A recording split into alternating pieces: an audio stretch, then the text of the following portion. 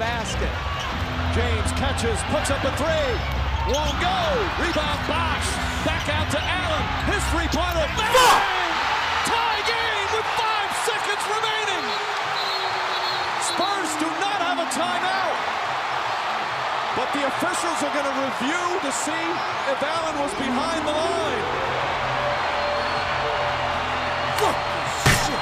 Chris Bosh with the huge offensive rebound.